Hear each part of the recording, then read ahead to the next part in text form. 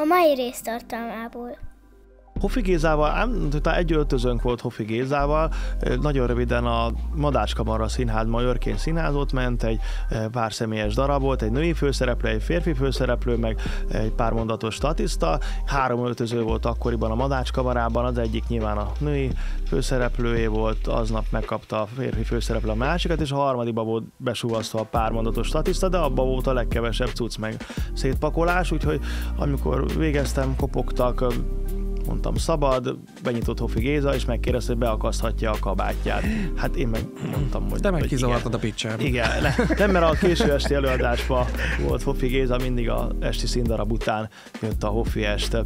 És tényleg előre köszönt az embereknek, nem, nem tudta a nevem, persze aztán vittem lemezt, meg dedikáltattam, akkor milyen névre, akkor már tudtad. Mit de- lemezt? Olyan- Persze, nekem megvoltak a Hofi Bakelit lemezek, és akkor azokat dedikáltattam Balázs barátomnak szeretettel, ez mai napig kim van az íróasztalon fölött bekeretezve.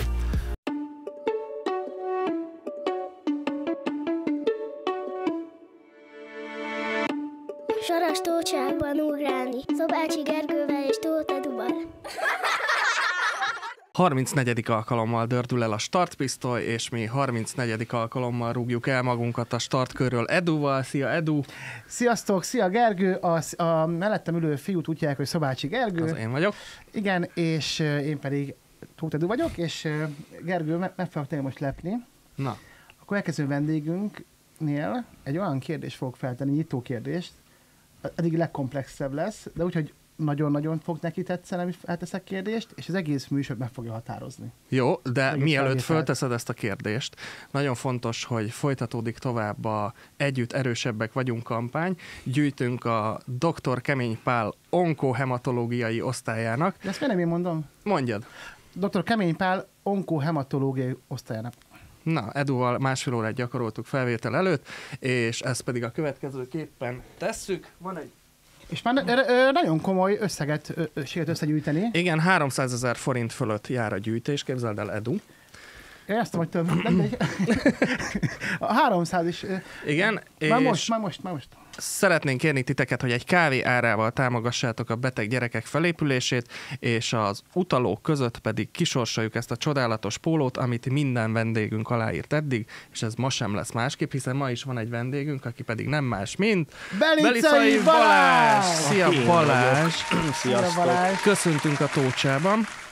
Nagyon vártuk, hogy itt legyél, és Igen. itt is vagy. Igen, úgyhogy kérlek téged, hogy Igen. gördíts tovább ezt az ügyet az aláírásoddal. Igen, már is. Az eddigi vendégeink, ide szíves. Vályi A, a számlaszámot szíves. hol hirdettétek meg amúgy? Vagy azt mindenki ott tudja van alul, fejből? nem? Ott ilyenkor, ma- Ilyenkor is- mindig megjelenik.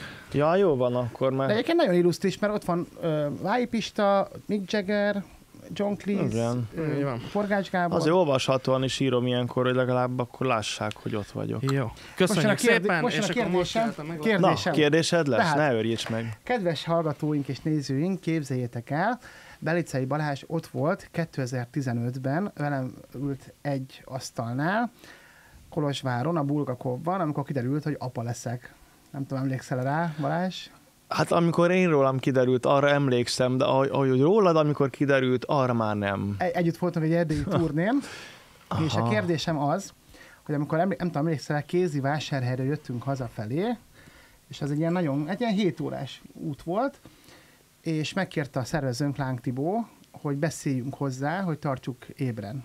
Na, mert este indultunk el. Ja, igen, Emlékszel amikor, igen, most már így emlék. Na és az történt, hogy mondta Balázsnak, hogy én ilyen, szeretem az operát, én ilyen koca opera rajongó vagyok, mert az egész, az operákról, amit tudok, az nagyjából az a KFT számból a Bá van az operaházban, Rigoletto, Sparafucina, ö, Papageno, de nagyjából ez, és kézzek el, kedves hallgatók és nézők, kedves Gergő, hogy Belicei Balázs Kézivásárhely és Budapest között az összes jelentős operát összefoglalta nekem, Hm. dióhéjban úgy, hogy, hogy mindegyiknél így, hogy így leesett, hogy ú, ezek egy nagyon komoly sztorik. Úgyhogy az egész műsor alatt majd lesz ilyen, hogy megkérlek, hogy akkor na, Balázs, akkor itt akkor a pillagó kisasszonyt három mondatban, akkor a Rigolettót. Tehát most Lesz ez, ilyen? aha, e- e- ez, ez, Erre már, nem készültem. ez már van. Ja, ez már van. Aha. Ez lesz a mai missziót. Igen, a másik jó. kérdésem, hogy amik, mert hogy te vagy az egyetlen olyan kollégánk, aki civ, olyan befutott humorista közülünk, aki civilben is dolgozik, de, hát- de, de, de, de rendesen de tanítasz, tanár Igen, bácsi igen, vagy. ezt, ezt elkezdtem a pandémia idején, amikor nem volt semmi rendezvény meg színház, akkor hát leporoltam a kis tanítói diplomámat, és 6 percre van az az általános iskola, ahol én 40 éve jártam, és akkor ott pont megüresedett egy ilyen alsós énektanítói hely, mert elment szülni évközben a, a tanítónéni, és akkor hát én éltem a lehetőséggel, és akkor oda elmentem tanítani, és aztán valahogy így ott ragadtam, és azóta is délelőttönként ott tanítgatok. Nem lett kolléganőd olyan, aki tanított téged annak idején? Hát közvetlen kolléganom nem, de, de sokan ott voltak, amikor pár éve még, tehát egykori osztályfőnököm Uh-huh. és biológia tanárnőm, és akkor kivel, mikor, hogyan letegeződtünk aztán, de, de voltak ilyenek. És olyan tabló, hogy Belicei Balázs még diák, és már Belicei Balázs tanár?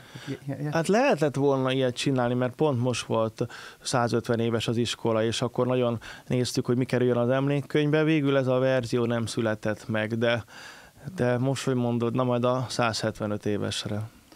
És 150 es iskolát 150, ez nem 100, Mondjuk, 150 mondjuk egy csomó iskola úgy, is, úgy, úgy néz ki, mint Igen. lenne. Ja, De, igen. De nagyon irigyellek Balázs, őszintén irigyellek, hogy, Melyik, melyik részéért? Hát ez, hogy, így, hogy van egy olyan munkád a humorista ö, munka mellett, amit úgy, úgy szívből, hogy felkelsz, hogy ne, ge- akkor lehet, hogy ge- ge- ge- kezd a Gergőtől, neked, neked van ilyen, amit csinálnál így mellette? Hát te is csinálsz Hát a kreatív podcast. Most most, hogy csak Igen. Mesélted, hogy dolgozol még, nem tudom, kreatívként, kreatív Igen, most szakemberként. dolgozom A egyébként. mai nem vendégünk számít? Szabási Gergő. Na, erre másik. gondoltam, hogy Igen, kérdezzetek engem. Aztán engem is majd légy szíves. Dolgozom egy cégnek, a Click Marketing a nevük, akik ilyen online marketinggel foglalkoznak, és nekik írok egyébként. Én civilben, én is dolgozom, edu képzeld el. Úgyhogy amit szoktatok kommentelni, hogy menjetek el dolgozni, mi igenis járunk dolgozni, legalábbis Balázs meg én, Edu még nem, de majd... De, majd- de, de én tudom, én szeretnék csinálni? Egy, egy régi-régi barátom, képzeld el, marketinggel foglalkozik 15 éve, és utána nagyon úgy ezt a, ülök az irodába, és pötyögök, és mondta, hogy valami, és tudom, mit csinál? Elvégzett egy OK és kemence kész, tehát ő Mm. kemencét. Az nagyon jó. Keme- mondta, hogy ez egy jó kis mocskos, Az nagyon jó. Jó össze magad koszolni, hogy így fogsz dolgokat, hogy így odamész, és akkor azt úgy megemeled, cipeled, nem ez a... látványos. Én gondolkodtam ezen, hogy, hogy mondjuk szobafestőnek, de csak hogy csak piros szobákat festeni, mert az nap végén kész vagy, vagy és látod, van, megfogható az eredménye. Az, hogy most a kisgyerek megtanulta, nem tanulta, az nem annyira látványos, mondjuk egy dolgozatnál látod, vagy jó szórakozott a közönség, nevettek, hát másnap emlékezhetsz rá, de nem annyira megfogható, mint egy piros szoba, és akkor ránézel, lefotózod, ezt megcsinálod, és lehet, hogy évekig piros, érted? És mész az utcán, és eszedbe jut, hogy van egy szoba, ami attól piros, hogy megcsináltam. Én ilyeneken szoktam még így gondolni. De a pandémia elmúlt, viszont te mégis ott maradtál az iskolában. Igen, akkor jött a háború, elmondom, kell valami, meg frissen tart, tudod? Eh, Az, hogy hirtelen kell döntéseket hozni, igazságot kell tenni, civakodó gyerekek között, gyorsan kell reagálni dolgokra, minden nap más tananyagot kell feldolgozni, azért az figyeli, figyeli, megkívánja az odafigyelést, meg a De én, éneket koncentrációt. okta, é, tehát énektanár vagy?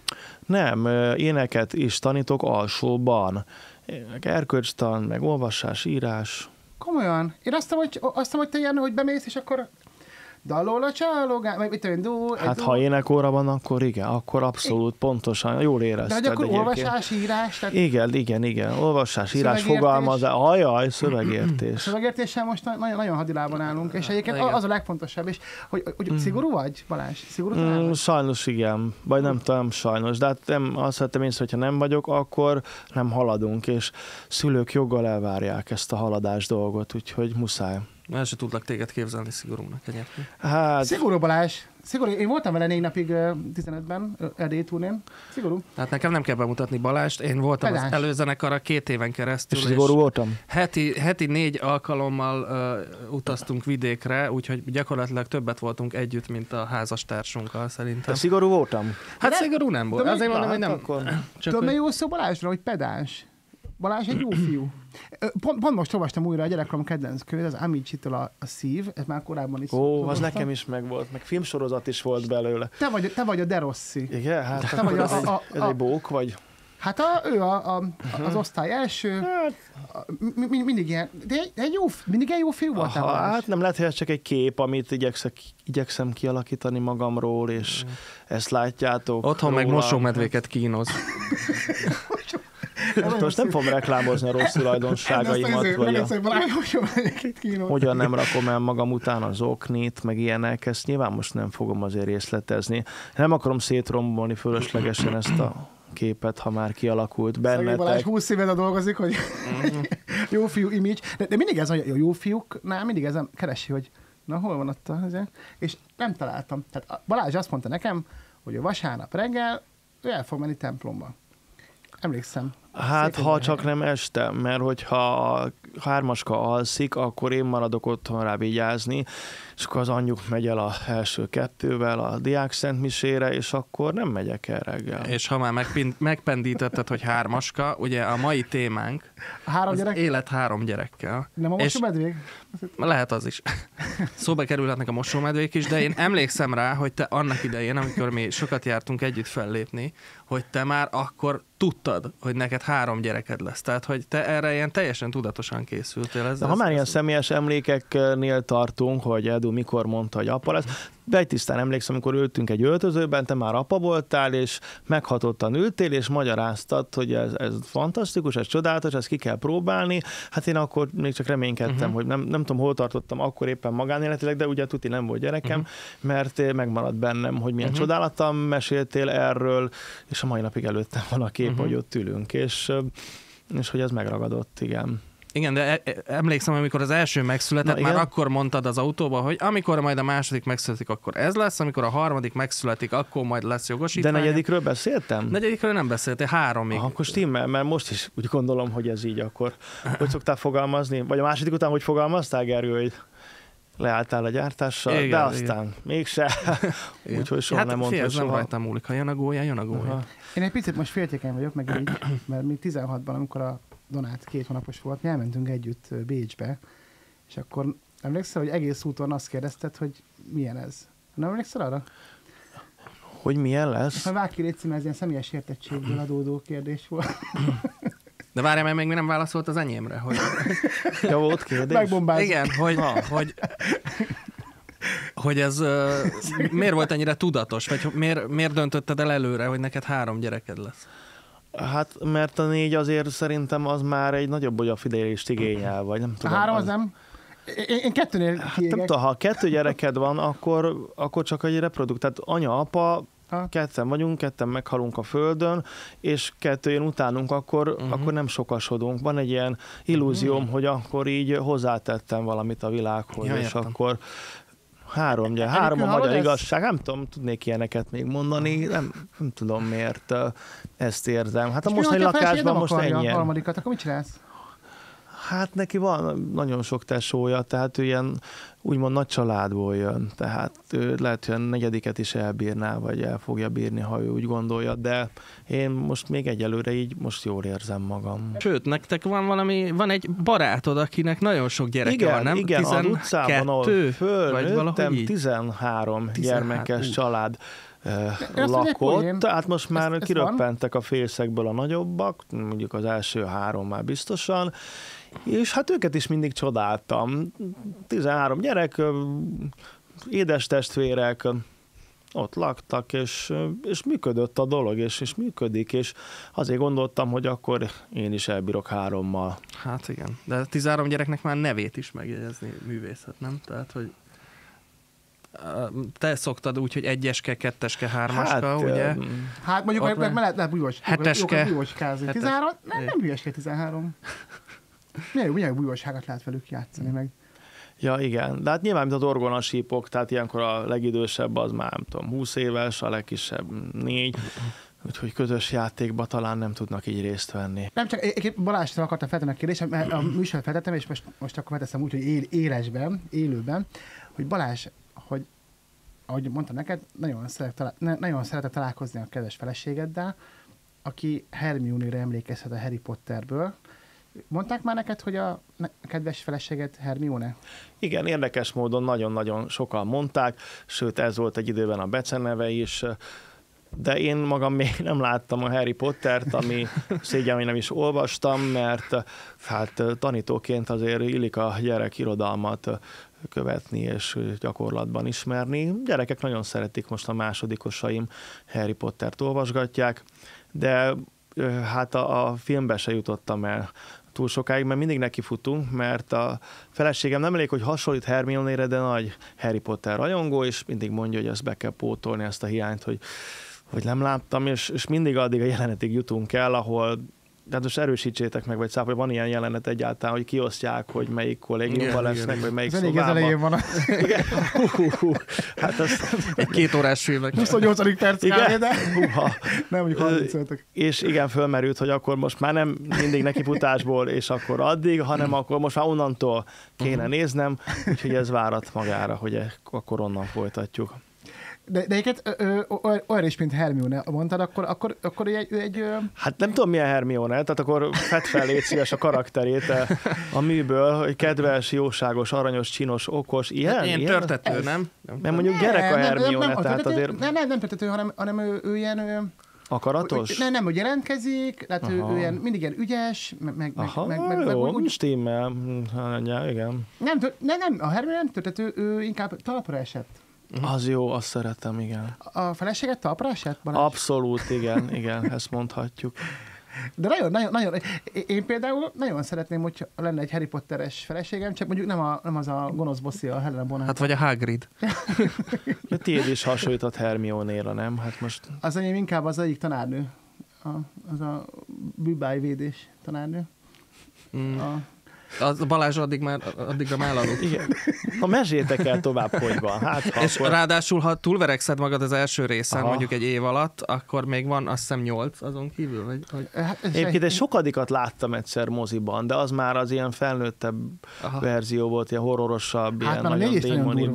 Igen, négy is olyan, hát hogy- szerintem annál továbbit láttam egyszer moziban, de már nem nagyon emlékszem rá. És de olyan van, hogy a suliban, hogy a Harry Potter könyvet olvassák a... A gyerekek a 8-9-10 szünetben, igen, azt a nagy vastagot, igen. Úgyhogy meg, meg büszkén mondják, hogy már kiolvastam a, ezt a kötetet, azt a kötetet, és kedvet csinálnak a másiknak ezzel. Ez Ezt tök jó, hogy, szeretem. hogy olvasnak. És vissza a saját kedvenceidet? Tehát mondjuk tegyük föl, nagyon szeret Fehér Klárát például, vagy, vagy van valami kedvenc, hogy srácok el kell olvasni a gyerekrablás a Palánk utcában. Ö, hát egyelőre nem. Örülök, hogyha megbirkózunk azokkal, amik a mesekönyvben vannak, ilyen mesekönyvben, az olvasókönyvben vannak, illetve hát természetesen mindig van könyvajánló, hogy a gyerekek kiállnak, és akkor arról mesélnek, ami nekik élményt adott, és ami jó könyv, ami tetszett nekik, amit szívesen javasolnak a többieknek. És a hát Ez a három, legbiztosabb. Most az én kedv- saját kedvenceimet nem erőltetem rájuk, hogy de ami gyakorlatban már bizonyított, meg a tényleg aktuálisan most ebben a korban, ennek a korosztálynak jó, arról ők számot adnak, beszámolnak, és kedvet tudnak csinálni egymásnak. és egyébként a, visszatérve a három gyerekre, hogy a, hogy fogadták egymást, amikor megszülettek? Tehát, hogy a legnagyobb, hogy egyeske hogy fogadta ketteskét, illetve hármaskát hogy fogadták mind a ketten? Nagyon jól, mert ezt persze előkészítettük pszichológiailag, fölkészítettük rá őket, hogy most jön, meg majd kedvesnek kell lenni. Nem emlékszem semmi extrára. Nyilván tudat alatt azért dolgozott bennük, hogy most kevesebb idő jut rájuk, meg kevesebb figyelem esetleg, de mi is dolgoztunk azon, hogy, hogy ezt ne érezhessék így. De Érdekes, hogy, hogy én például nagyon, nagyon, nagyon rákészültem, és na- nagyon nem azt kaptam, amit vártam, főleg a, a, így a családtagok, rokonok. Hogy mindenkinek mondtam, hogy ha bejöttök, akkor vele is foglalkozatok, és akkor bejöttek, jaj, szia, ketteske, jó, hogy cuki az egy, és, és egy, mindig, mindig próbáltam találni, hogy ott van ő is amúgy, és vagy Janikovszki Évának a kireültött ez a gyerek, és abban nagyon benne van ez, hogy, hogy, hogy, hogy amikor ilyen nagy vagy, akkor ilyen, ilyen felesleges érzet, hogy felesleges vagyok, mert jött a kicsi, hogy nem tudom, hogy ná- nálunk ez nagyon kemény meló volt. Hmm. De, de nektek ez így meg, így simán, így, így ketteske? De már mint, hogy ö, a Doncika ő, ő így megviselte? Igen, igen. ö, Lá, látszik a fotókon, hogy, hogy amikor még pici baba a, a kicsi, tehát amikor Bence még kicsi, hogy minden mosolya ilyen, ilyen látszik, hogy erőltetett. Aha. És most jött bele kb. két év alatt ebbe a báty szerepbe, egyébként elképesztően szerencsém van vele, mert nagyon jó báty. Uh-huh. De most már a mosolyán látom, hogy, ez, hogy tényleg szereti ezt a kis csöpséget, mert előtte az volt, hogy bármit mondtunk neki, hogy, hogy ez jó, meg, meg jó lesz, meg tesód van, meg stb. Azért azt látta, hogy itt van egy ilyen kis vigyóka, ami miatt anya meg apa türelmetlenebb, kevesebbet van vele, és tud, tudta az agyával, hogy igen, most van egy tesója, de mégis így a figyelem elterelődött. Nagyon sokat dolgoztunk ezen, hogy, hogy ez ne következhessen be. Nyilván nehezebb volt, amikor a harmadik gyermek megszületett, hogy a másik kettővel például akkor külön programokat csinálni. Amikor a legkisebb elaludt, akkor figyeltünk arra, hogy például anya kettesben elmenjen valami külön programra Veled? a legnagyobbal, de Ja. arra sajnos nem került sor. A, a, azt nem nagyon tudtuk még csinálni, bár szerencsénk van, mert a nagymamán közel laknak, és aktívak és segítőkészek, úgyhogy most már azért ilyen is van, hogy elelszökünk kettesben, de, de tényleg nagyon-nagyon figyeltünk. Nem azt mondom, hogy patika mérlegen mértük ki, hogy akkor melyik gyerekre mennyi figyelem jut, de, de, de számoltunk ezzel, és nagyon készültünk erre, hogy nehogy sérüljön a kis lelkük. De egyébként ezt, ha belegondoltok, nekünk is meg kellett szokni az új jövevényeket, nem? Tehát nekem például az elsőnél az volt, hogy, hogy így rettek, hát nem rettegtem, de úgy aggódtam azon, hogy ha majd lesz még egy gyerekem, azt fogom-e tudni annyira szeretni, mint az elsőt, hiszen őt annyira nagyon-nagyon szeretem, hogy nem hittem el, hogy ezt ez, ez tud még tovább osztódni, ez a szeretet. És én bevallom őszintén, hogy mikor megszületett a, a második, én eleinte, tehát ilyen, így meg kellett szoknom, hogy ő, ő van. És, és csak egy, egy-két hét múlva alakult ki az, hogy, hogy már őt is tudtam ugyanúgy szeretni, mint az elsőt. És, és ezt nekik is meg kell szokni. Tehát a, a, testvéreknek is meg kell szokni az új testvér érkezését. Mondjuk ezt kevesen ismerik el, tehát ezek erős szavak, de ezt kevesen mondják ki. Igen, de akkor is így volt. Az erősek ezek a szavak. Én nekem az elmúlt nyolc és fél éve, ha belegondolok, hogy mikor szerettem legjobban a, a Donátot, a nyagyot, egyszer szegénykének volt egy balesete, hogy a karja eltörött a játszótéren Balatonkeresen, leesett a korlátra, meg is kellett műteni sajnos, és rá ö, három hónapra lemoltunk a római parton, és már akkor le, le, levettük a gipszet, szaladgált, és elesett szegény, és így a, egy, egy, egy faágba elesett, és így a gatyáját szétszakította az a faág, és így sírült oda hozzám, de olyan, úgy lett meg és hogy most megint megyünk kórházba, és mondtam, hogy nem. És nekem ez elmúlt nyolc és fél évben, nekem ez a legilyen intenzívebb pillanat, amit így, így el tudok mesélni, hogy, és akkor rájöttem, hogy igen, néha van ez, hogy, hogy szeretem-e eléggé, és az a baj, hogy ugye, ugye, ugye ezt az, az, azért teszünk fel magunknak, mert hogy, hogy szeretnénk fel többet lenni, csak azért mégis közben meg pénzt kell, meg, meg stb. De hogy nekem ez az, neked Balázs, mi volt az a pillanat, amikor ezt érezted az elsőnél, hogy igen.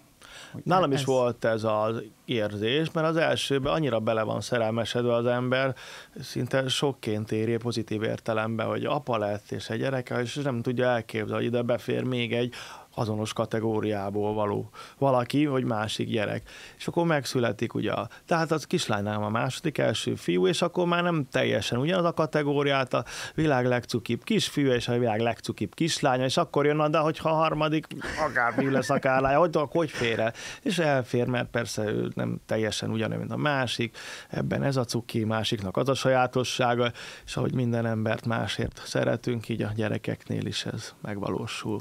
És, és mondjuk, mondjuk a, a nagy, mennyi idős a, a legelső?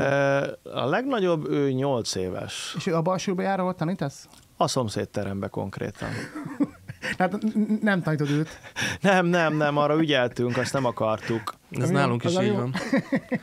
Ja, mert a ned is tanár, de jó. Igen, igen, igen, és uh, ugyanabban a suliba járnak, ahol, ahol tanít Szilvi.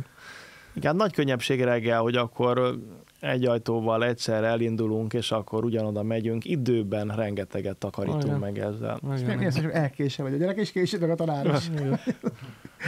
Viszont az a kérdésem, hogy, hogy mondjuk van olyan, hogy, hogy vége az órának, akkor minden szünetben találkoztok?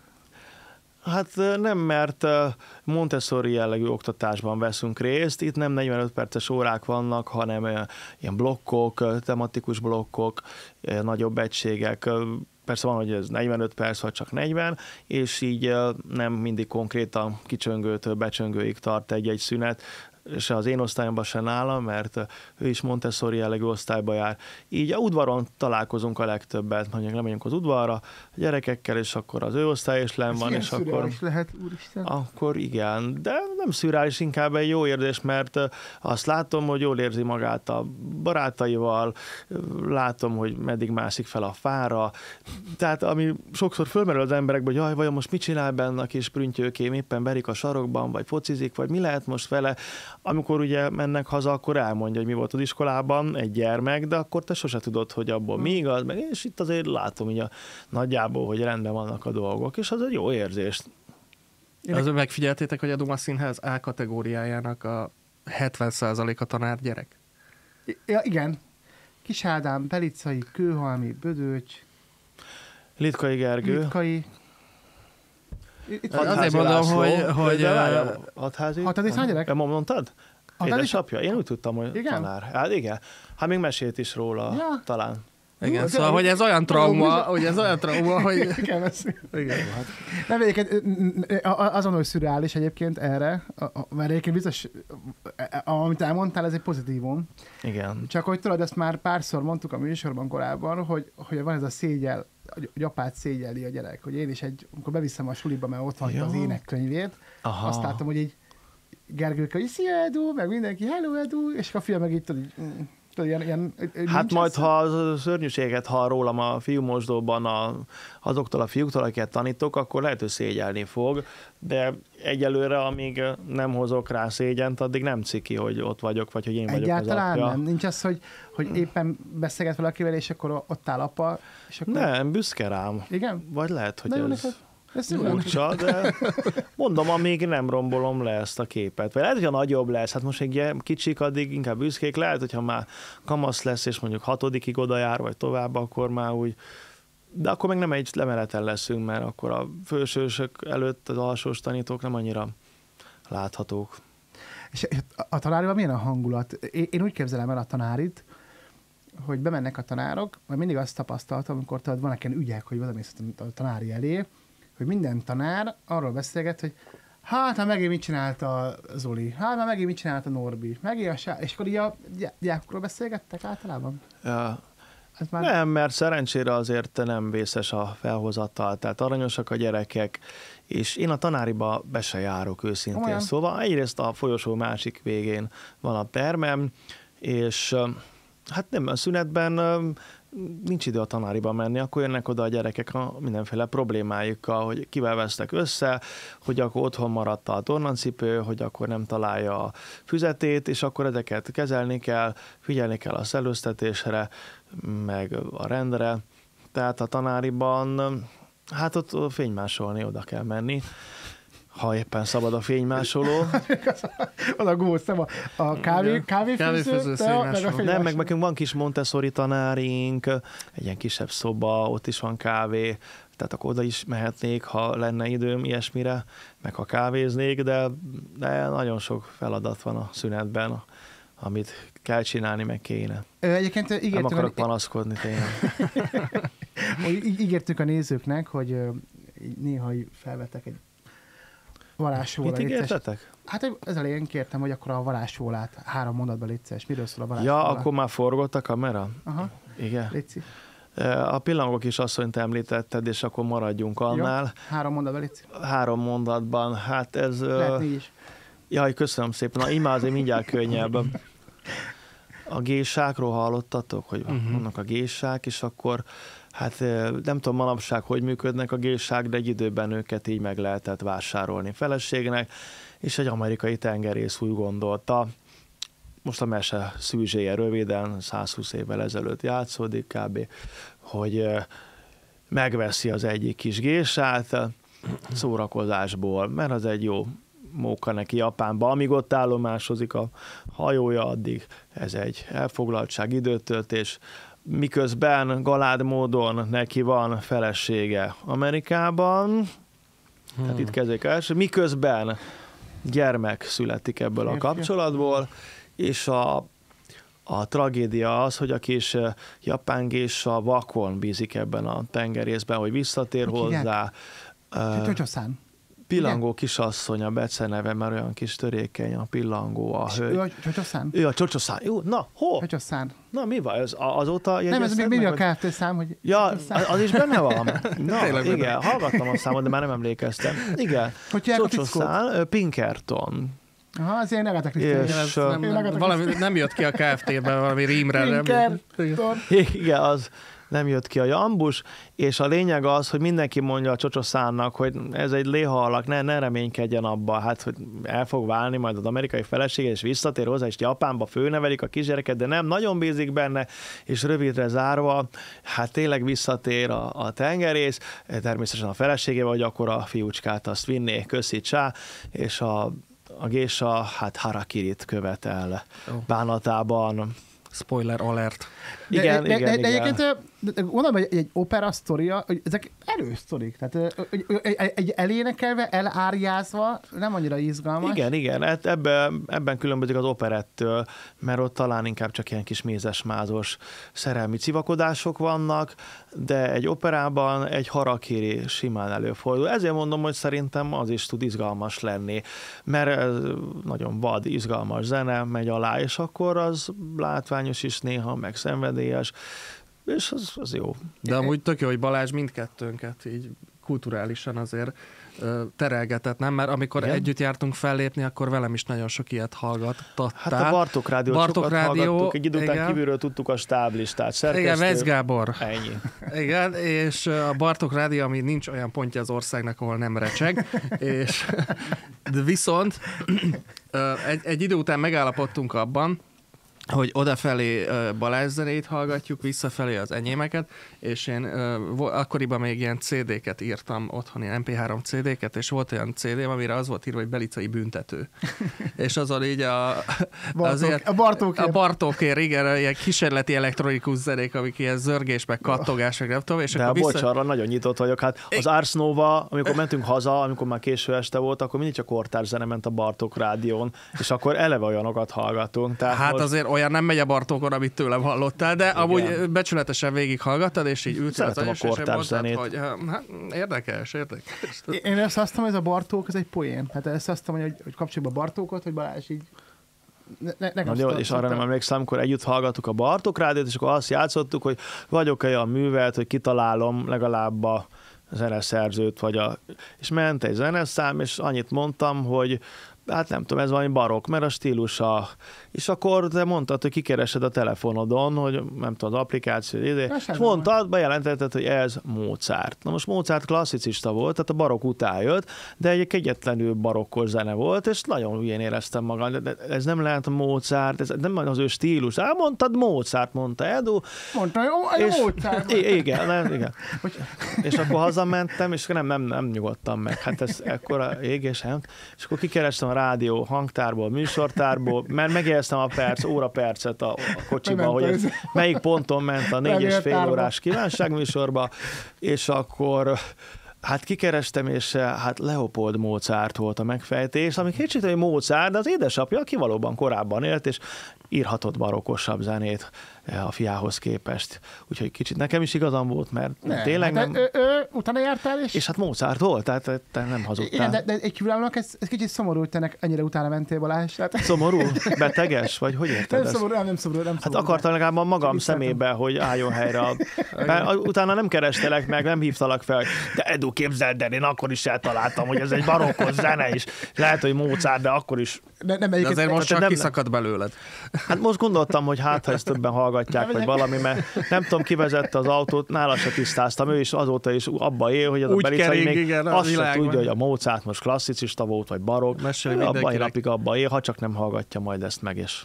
Amúgy örülök, hogy a tüske most így, így kihúztad magadból. Tessék? Örülök, hogy ezt a tüskét most kihúztad magadból. Évek óta vártam erre.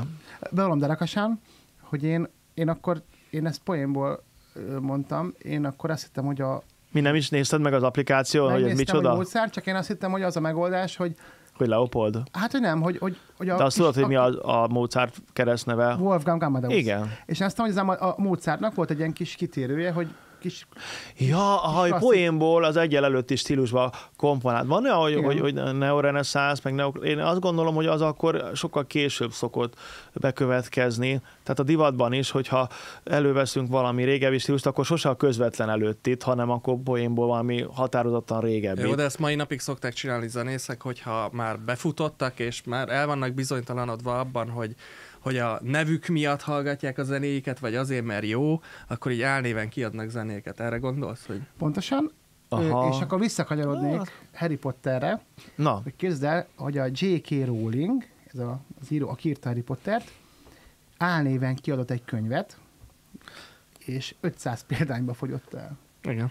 És valaki kiszúrta, hogy hm, furcsa, hogy ugyanaz a kiadója, mint a Rowlingnak, és megnéz, olyan furcsán, hogy minden, minden női ruhára ennyire tud, és akkor kiderült, hogy lebukott, hogy ez a Rowling, aki írta, és utána azon a héten egy millió példányt vettek abból a könyvből. Nekünk van egy közös ismerősünk, nem mondom ki a nevét, de mind a hárman ismerjük. Ő Harry Potter? ö, könyvkiadással foglalkozott annak idején, és egy angol kiadó megkereste, hogy van itt egy könyv varázsló gyerekekről szól, megmondta, és, és azt mondta a fickó, hogy hát ez szinte baromság. Ez itthon senkit nem fog érdekelni, és kiadhatta volna ő itthon Magyarországon a Harry Potter, de azt mondta rá, hogy hülyeség. Úgyhogy szerintetek milyen lehet ezzel így együtt élni? tehát azt mondod, hogy a nem 500-ba kellett volna elfogyni, mert hogy a zsenialitásának át kellett volna szűrődni még azon a kis művön is. De gondolom ismeritek ezeket a sztorikat, hogy világhírű hegedűművész egy napszemekbe hegedül a metró al- aluljáróba, és elmennek mellette az emberek. Nagyon sok ilyen Mm. kis tréfa van, hogy akkor ezt megcsinálják, és jé, hogy akkor nem gyökeredzik földbe a lábuk, akkor már nem hallják, hogy az világhírű hegedű művész igazából, vagy hogy olyan szinten játszik. Ilyenek vannak, Edu. És a másik kérdésem pedig az, hogy, hogy neked ki volt a hősöd, mert, mert te nagyon ismered ezeket a nagy öregeket, hogy amikor el, már- a humor pályára ráálltál, elkezdtél. Majd mi, milyen kategóriában ki volt a Hát hős? Kern Andrástól kezdve, Ja. Bobby Hilda, Gobbi Hilda, Dezső, bárki jöhet. Gobbi Hilda is, ezt azért mondhatjuk, mint színésznő, mert sokáig színész akartam lenni, és minden színész nagyon szerettem, aki hát igazi egyéniség és szórakoztató.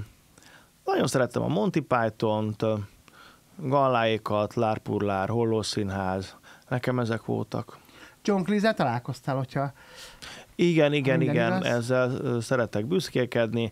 1996-ban történt, amikor a Fészkes Fenadak című moziának csinálta a reklámot, és ment körbe az országban. Nem tudom, van-e ilyen, hogy kijön egy nagy film, és akkor minden országba elmennek az alkotók sajtótájékoztatót tartani. Talán ma már ilyen nincs is. Szerintem nincs ilyen. Csak a Corvin moziba, nem is messze innen, akkor ott megjelent John Cleese, és lehetett tőle kérdezni.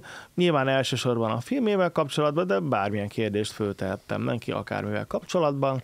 És a végén, hát akkor még nem selfie-nek hívtuk, de lehetett vele fotózkodni, autogramot kérni. Az nekem egy nagy csoda volt, mert akkor néztük, a, akkor jött be a Monty Python Magyarországra, akkor ismertem meg, és hát olyan elérhetetlen volt, hiszen akkor már nem is volt olyan értelemben Python, hogy a Monty Python csapat már feloszlott. Nem hittem volna, hogy, hogy testközelből csodálhatom őt, de összejött. Ez hányban volt? 1996-ban. 90-es évek elején Aha. adta a tévé a, a Monty Python sorozat részeit, Tényleg? Én és addigra már akkor azokat meg is néztük. Képzeld el, 2009-ben a Fishegon Orfi Fesztiválon voltam, és Belicei Balázs fellépett, lejött a színpadról, én akkor már nagyon-nagyon akartam szendápos lenni, ez a nagy álmom, hogy szendápos legyek, és nem mertem Balást megszólítani. Nem mertem oda, el- eljött mellettem, és hogy, hogy mentem, és nem, nem, mégsem. És ebben az a kuriózum, hogy rá másfél évre Megmertél. mentünk együtt fellépni. Ugyanoda. Nem, ha, Harkányba. Pécs És akkor már megmertél szólítani, hogy volt az? A kocsiba ültünk együtt. De akkor- megmertél szólítani. Akkor már így beszélgettünk. És nem is volt másfél év, ilyen 14, 13 hónap. Uh-huh. De úgy képzeld el, hogy, hogy, hogy ott, ott van egy, tényleg jön egy uh, John Cleese, és te vele lépsz fel. Nekem ez egy ilyen volt. De viszont Balázs találkozott Hofi Gézával. Hofi Gézával, ám, tehát egy öltözőnk volt Hofi Gézával, nagyon röviden a Madácskamara színházban őrként színházott ment, egy pár személyes darab volt, egy női főszereplő, egy férfi főszereplő, meg egy pár mondatos statiszta. Három öltöző volt akkoriban a Madácskamarában, az egyik nyilván a női főszereplője volt, aznap megkapta a férfi főszereplő a másikat, és a harmadikban volt besúvasztva a pár mondatos statiszta, de abban volt a legkevesebb cucc meg szétpakolás, úgyhogy amikor végeztem, kopogtak, mondtam szabad, benyitott Hofi Géza, és megkérdezte, hogy beakaszthatja a kabátját. Hát én meg mondtam, hogy... Te meg hogy kizavartad a picsába. Igen, ne, nem, mert a késő esti előadásban volt Hofi Géza, mindig a esti színdarab után jött a Hofi este. És tényleg előre köszönt az embereknek, nem, nem tudta a nevem, persze aztán vittem lemezt, meg dedikáltattam, akkor milyen névre, akkor már tudta. Mit de... lemezt? Olyan- Persze, nekem megvoltak a Hofi Bakelit lemezek, és akkor azokat dedikáltattam Balázs barátomnak szeretettel, ez mai napig kim van az íróasztalon fölött bekeretezve, úgyhogy együtt néztük a társalgóba a tévét, élőbe kommentálta, az Hmm. szórakoztató volt. Én, én, én, én nekem, nekem a, a, a Balázs egyszer beszélgettünk arról, hogy miatt te ezt egészet elkezdted, mert kérdeztem tőled, hogy izgulsz-e még 2010-ben. Mert én elég izgultam, és mondtad, hogy nem. Hogy te nem izgulsz soha. Ezt mondtad nekem. Na jó, a legelején én is izgultam. Hát ami, amikor még azt se tudom, hogy lesz ehhez közöm, vagy lehet-e közöm ehhez az egészhez, és szerettem volna, hogy legyen, akkor persze az elején szerintem mindenki izgul, és én mondjuk egy idő után már nem izgultam különösebben. De hogy előtte, ezt, tehát a, miatt elkezdtél stand azt megelőzte hosszú-hosszú évek, hogy mesélted, hogy ilyen cirkuszi társulattal jártad az országot. Volt minden a jó ízlés határain belül, tehát színészkedtem, a Madácskamarában volt ez a statiszta szerep, amit említettem, megjártam ilyen hajcíős társulattal, gólyalábaztam, lufit hajtogattam, meseszínház társulatban voltam, mesejátékban, igen, igen, tehát nem volt újdonság számomra, hogy emberek előtt beszéljek nyilvánosan, vagy színpadon szerepeljek, úgyhogy emiatt külön nem izgultam sose. De ez mi- miért van neki, hogy úgy tanár, hogy közben már fellépett több százer ember előtt? Igen. Az a, az a 25 gyerek előtt izgulsz? Hát ott, ott nem izgulok, de persze azért van bennem druk, hogy érdekelje őket az aznapi anyag, ne ájuljanak el az álmosságtól, vagy a fáradtságtól, vagy az unalomtól, azért ott is tud rezegni a léc egy-egy. Nyilván nem az oroszlán barlangba érzed magad húsz gyerekkel szemben, de benne van a pakliba, hogy az egyik azt mondja, hogy na nekem ebből elegem van, és elkezd trókodni, akkor azt úgy kell kezelni, hogy a tekintélyed megmaradjon, és Hogy nagyon hamar rendeződjön a dolog. Valaki elkezd trollkodni. Hát Egy ilyen véleményvezér, egy alfaj, egy influencer az osztályban. Hát először a panelekkel, hogy jó, akkor majd ez lesz, meg az lesz a következménye. Nyilván ilyenkor ő azért trollkodik, mert unatkozik, tehát akkor azonnal valami külön feladatot kéne neki adnom, de az külön idő, amíg azt kidolgozom, hogy akkor volt olyan, hogy betáraztam, mert tudtam, hogy trollkodni fog, és betáraztam nagyon jó külön feladatokkal, amiről tudtam, hogy érdekli, leköti, és egyből fel fog csillanni a szeme, és akkor az békében nyugodtan tartja, de aznap már nem trollkodott. Tehát ez egy Murphy törvény, hogy mintha megérezte volna, hogy felkészültem arra, hogy, hogy meg fogja zavarni az órát, aznap nem zavarta meg, és, és onnantól nem volt ilyen gond, tehát lehet, hogy csak ennyi kell kabalából minél jobban fölkészülni erre is, és akkor nem lesznek ilyen problémák. Át tudod emelni azt a tudásodat céges fellépésekre egyébként? Hogy ott Hát nagyon a... hasonló a kettő. Tehát ugyanarról szól a, a kettő, hogy kapsz valakit, mert ugye a Duma Színházban jó esetben ránk vesznek, tehát tudják Igen, igen, előre, igen, hogy ki igen, lesz, de egy, egy cég alkalmazatai vagy partnerei nem mindig tudják, hogy kit kapnak a vacsora után ajándékba a cégtől, tehát őket meg kell nyerni, a gyerekek se engem választottak tanítónak, még ha esetleg a szülő tudta is előre, hogy én leszek, tehát ott is ugyanez a, a játék, hogy meg kell valahogy nyernem, érdekesnek kell lennem, szórakoztatónak, tehát kaptak engem úgy, hogy nem kértek, és nekem meg hát helyt kell állni, ugyanaz a kettő. Lehet, hogy ez lenne titka a oktatás reformjának, hogy jegyet kéne venni a tanárokra. Nekem meg az, az merült fel hogy, hogy, hogy színpadon az a, a cél, hogy ne vessenek, hogy amikor ülnek a gyerekek csendben, hogy nincs ez, hogy nevetéskényszer. De van, van, és amikor fáradt vagyok, a magam szórakoztatására szoktam őket nevettetni, de az nagyon nagy öngól, mert akkor ők úgy érzik, hogy akkor, tehát ha azt lehet mondom, hogy pihenni. szórakoztassuk a gyereket, akkor legyen a példamondat, hogy Sanyi véletlenül megette a papagájt. Gyakoroljuk, hogy a papagáj pontosé. Ezen nevetnek, oldódnak, nem unalmas az óra. Igen, de utána mondom, jó, most mondjatok ti egy példamondatot, és akkor azt mondják, uh-huh. hogy hát felhívás keringőre, és akkor mondanak, nem tudom, Sanyi szétharapta a hugának a fülét, és akkor nagyobbat nevetnek, és akkor elszabadul a pokol. Tehát ez a szórakoztatva tanítás, ez, ez nem vált be igazából a gyakorlatban, érdekesen kell csinálni, és akkor mert akkor felveszik a kesztyűt, és még viccesebbek akarnak lenni, és ha azt hiszik, hogy nincs határ, és akkor lehet bármit, az nem olyan jó. Ez olyan nehéz, de apaként is érzem azt, amikor így jó fejkedek, meg, meg akkor most poén, akkor mind- mindig a pokol elszabadul. Egy tanórán akkor ez hatványozottan igaz. Igen, Ez- és nagy a kísértés, mert ugye ott vannak a magas labdák, mert azért a, a gyerekek azért hálásak, hogyha valaki vicces szeretne lenni, vagy, vagy jópofizik, vagy humort visz az órába, egyből, egyből ott vannak, tehát nincs az, hogy ah, ez a poén nem jött be. Nem, hát ott nincsen. A gyerekek ki vannak éhezve arra, hogy valaki nevettesse őket, pláne az iskolában, ami alapvetően tanulásról szól, de hát akkor onnantól úgy érzik, hogy akkor most akkor megindul a kaszinó, és akkor mostantól csak nevetünk, és ha a tanító nem mond vicceset, akkor majd a másik bekiabál a hátsó padból, és akkor már nem lehet azt megállítani. Egyébként Balást annyiban lehet tanulni. Nekem ez a benyomásom volt Balázs, nem 15 év alapján, hogy, hogy tőled azért lehet tanulni. Te egy, A hibáimból. nem, például, például, például az, hogy a mai napig ez az izgulás dolog, meg a operák. Szerintem akkor így, így lehet egy finálé, hogy vagy most a fináléba Legyen egy, csúszunk. legyen egy finál. Ked- Mi a kedvenc operád, Balázs? Nekem a kedvenc operám a Tosca, mert abban van a legtöbb szenvedély, le van egyszerűsítve az egész, nem is olyan bonyolult, nem is túl hosszú, Dióhéjban nagyon három sok név van. sláger van benne, Ö, egy festő, aki egyben szabadságharcos, Hogy hívják? Cavaradossi, Na, az is van. Cavaradossi, Csocsorszán, tessék. Mhm. látod? Cavaradossi. Jól az festő? Igen, olasz festő, nagy szerelme egy énekesnő, akibe beleszeret a helyi rendőrfőnök, akinek ugyanakkor ellenfele a szabadságharcos festő, aki lázad a rendszer ellen, és hát megkínosztatja a festőt, Még, majd Majd az két nevet kérlek. Mi- Milyen? Cavaradossi, a festő, Festő, a nő? Scarpia a Scarpia! rendőr, az is van a KFT dalban? Az nincs. Na jó van, igen. Tosca az énekes. Nincs, de minden névnek nagyon tud örülni. Ezt. Scarpia! Scarpia a nő. Nem, az A- a, a rendőrfőnök, rendőrfőnök, de gonosz.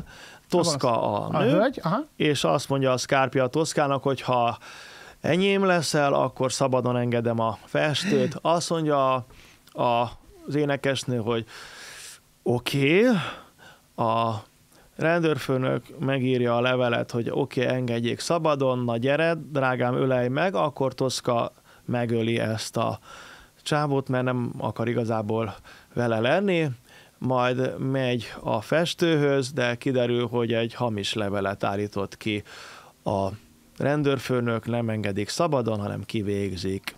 Ó. Így ott marad a hölgy egyedül, és nem tudja ezt feldolgozni, viszont akkor már erősen körözik őt a rendőrfőnök meggyilkolásáért, úgyhogy egyszerűen ledobja magát egy várfalról. Minden operának az a vége, hogy öngyilkos lesz a főhős. Nem csak gondolom, a mellékszereplők is meghalnak közben, tehát Akkor a, jó. van egy szökevény, az Angelotti, az is meghal. Tehát lényegében Angelotti? négy, Ancelotti? négy fő Angelotti, nem a focista, ma hát tudtam, hogy fölcsillan majd a szemed. Ancelotti. Igen, ez Angelotti, az hogy van, az csével van, nem? Ja, Ancelotti, ő, ő, hogy hal meg, vagy, vagy mi lesz? Ő öngyilkos lesz a kútban, Ő tehát csak úgy. két öngyilkosunk van ebben az operában, egy valakit leszúrnak, és a festőt pedig hát De Ancelotti miért? A barátja a lövik. festőnek? Vagy? Igen, igen, ők tessék. összejátszanak, tehát ő Ha? menekíti, bújtatja a festő, a lázadó, a szökevényt, emiatt keresi őt a rendőrfőnök, emiatt kínosztatja meg. A nagyon-nagyon-nagyon kedves opera, a gyerekeknek még nem játszottam le. Na most már, ha kiderült, hogy ugye mondtad, hogy Balázs jó fiú, most már tudjuk, hol éli ki magát. Mi viszont most szabadon engedünk téged, úgyhogy nagyon köszönjük, hogy itt voltál velünk a Tócsában. Én még szedek egyszer egy ilyen Melicei Balázs hangos könyv, operák, négy mondatban. Nagyon Jó. köszönöm, hogy eljöttél Balázs. Rengeteget tanultunk Én köszönöm tőled, a meghívást. tanulni, remélem. Még találkozunk még. Sarastócsák. Köszönjük Szia. Balázs! Szia, szia! Szia! Jó utat! Ez volt a Saras Tócsákban ugrálni Belicai Balázsjal. Ha tetszett a műsor, nyomjatok egy lájkot, és iratkozzatok fel a csatornánkra. Köszönjük a figyelmet! Együtt erősebbek vagyunk. Támogasd egy kávé árával a beteg gyerekek felépülését. A közleménybe ne felejtsétek odaírni. Gyermekonkológia.